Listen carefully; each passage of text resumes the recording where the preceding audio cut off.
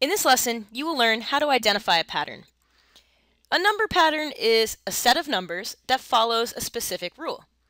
Patterns can be made using any of the four operations. You can have an addition pattern or a subtraction pattern, division or multiplication can be used as well. And even some patterns use more than one rule to make the next number in each step. So let's look at the first pattern that we're given and see if we can identify the rule.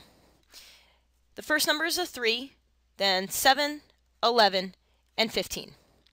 The numbers are getting bigger, so that's something important to note because not all operations make the numbers get bigger, right? So compare the first two numbers to see if you can figure out what the rule is that makes each number appear in the pattern. So 7 is 4 more than 3. And let's see if this rule holds true for the next two numbers. Comparing 7 and 11, 11 is 4 more than 7. So this pattern is made by adding 4. In between each number, you add 4, and then you can generate the next numbers further from 15 on. Now let's look at the next pattern. 5, 10, 20, 40.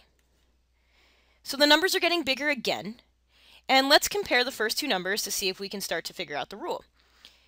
Well, 10 is 5 more than 5, so maybe this pattern goes by adding 5. Compare the next two numbers. 10 and 20. If the pattern was made by the rule add 5, this number would be a 15, not 20. So adding 5 isn't correct. How else can you get from 5 to 10?